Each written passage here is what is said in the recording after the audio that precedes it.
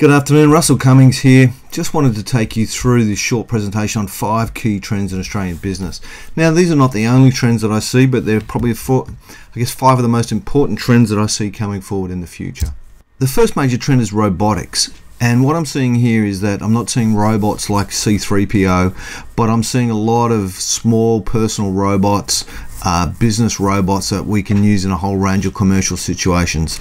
They will be small, single purpose, highly mobile, energy efficient robots. So things like we're already seeing them, you know, robot mowers, robot pool cleaners, those things. But we will see robot industrial and commercial cleaners. We will see trench digging robots, roofing robots, things where people are uh, there are safety issues and or labour issues. So robotics is absolutely key going forward.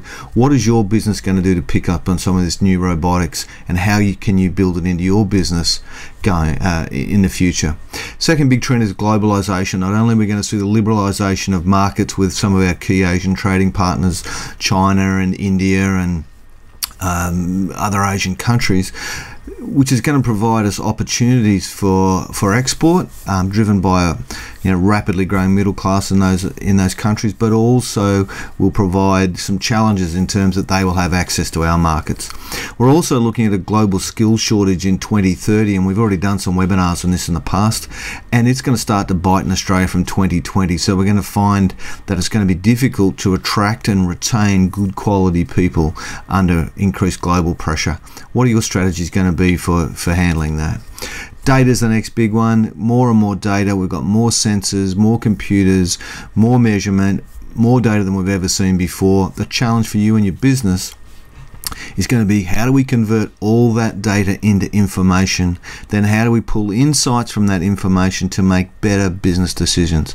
Absolutely a key challenge moving forward.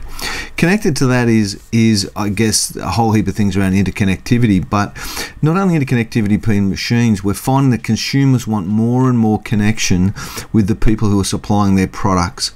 We're finding this from in everything from food to services that where people want to understand who it is that's delivering and how we build connection. Now it's more than just social media. It's about building strong deep connections, about tailoring services and doing things to people's needs.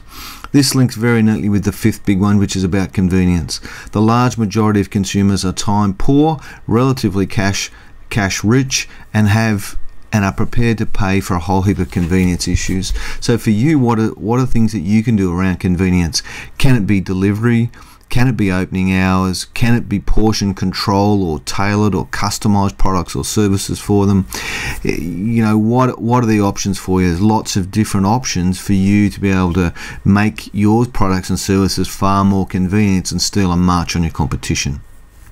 So very quickly, they're the five key trends that I see in Australian business moving forward. These are not the only trends but I think there's some of the key ones that you really need to take advantage of. If you'd like to explore some of these issues with me, I'm really happy for you to book a free 30 minute call with me. Put up some of your issues you'd like to talk about and we can discuss those and develop some action plans for how you're going to move forward.